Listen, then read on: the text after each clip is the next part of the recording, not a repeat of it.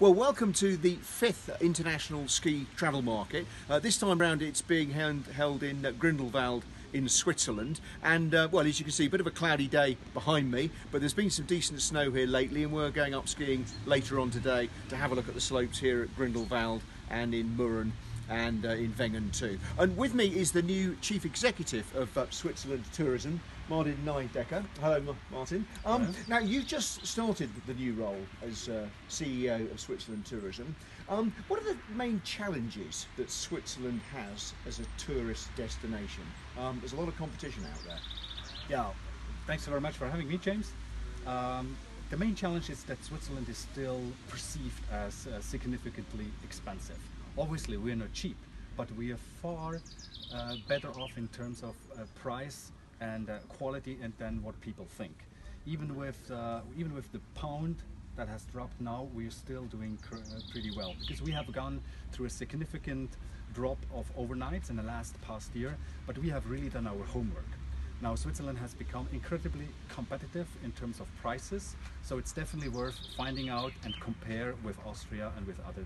Uh, and what about the basic product itself? I mean, Switzerland, as you know and as I know, um, it's got a great mountain history here. I mean, that mountain tourism started here in 1864 when the British went to the hotel uh, in, in St Moritz. Uh, uh, there's a lot of focus as well on, on, the quality of the product that you, you produce. Is that what you're putting a lot of emphasis on?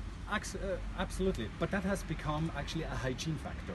Uh, the tremendous quality in Switzerland is there and it's there to last but uh, we want to move on. We want to move on with innovative products. We want to really show people that it's worth coming here. So quality is a must and it's being uh, done already, but that's already in our DNA. Yeah, because you just given a presentation here at uh, ISTM, which we'll be reporting on a bit later on, and I'm struck by the fact you're not sort of focusing on the old sort of chocolate box image of Switzerland and sort of you know leather gear and all the traditional stuff. You're looking more to the future. I mean, there's a big investment itself taking place here in Grindelwald, so you're looking more, more to the future than to the past. Is that fair to say? Well, that's true. But you know, let's not forget the past is very, very important because only because of a significant past we are the winter original. 1864, the winter tourism has started here, and we're very proud of it. But we cannot just rely on that. So we are really focusing on innovative product development.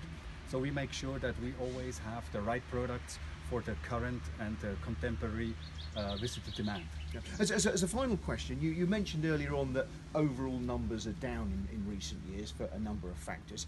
Um, the British have a particular sort of soft spot for Switzerland, and I know the Swiss particularly like the British, but again, numbers are down. Are there any sort of specific things that Switzerland tourism is doing to try to sort of re-energise the, the, British market yeah, in, in absolutely. winter?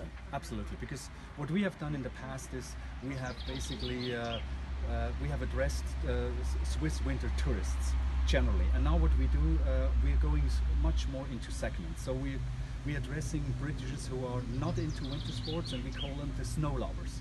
So we have particular programs for snow lovers uh, and we show so, so, such as what? Such as uh, the wide variety of how to enjoy snow without having to go and ski or on snowboard. It starts with uh, winter hiking, snowshoe hiking, with uh, horse carriages, with uh, cross-country skiing. There's so many activities which we want to uh, address and point out for those who don't ski.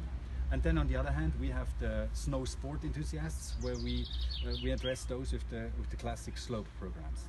Well, I must confess, I'm a skier. Most of our readers are skiers, but I do thoroughly recommend that, um, yeah, if you come to the, the, mountains, whether they actually they be Swiss mountains or anywhere else, that you do have a go at some of the other activities. Um, you may have seen recently I was in America and actually went uh, went horseback riding, which is something I've never done before. Absolutely loved it. Again, in Switzerland, you can do an awful lot of things, as, as Martin was saying there, whether it's um, you know hiking, whether it's tobogganing, a whole range of activities. And I do encourage you to try some of the other activities on offer in Switzerland and across the mountains. And uh, Martin, thank you very much indeed, and uh, I wish you all the best for the future. Thank you so much, James.